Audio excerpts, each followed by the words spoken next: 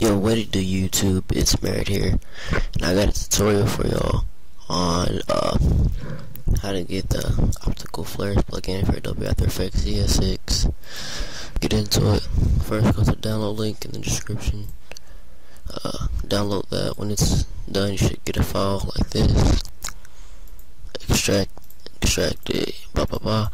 Uh, get a folder that says optical flare that shouldn't be in there. You get this right here. It's just on notes. La la la la. Alright, forget that. First, you want to go to this folder right here. Just copy this whole folder.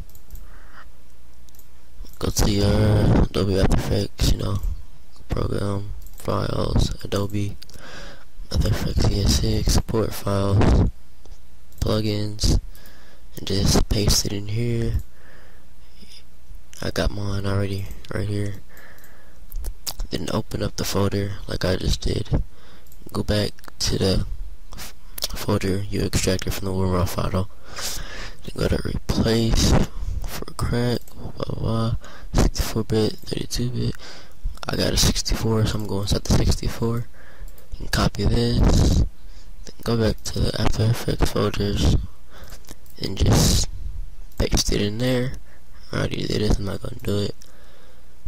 And boom, there, you got optical flares that quick.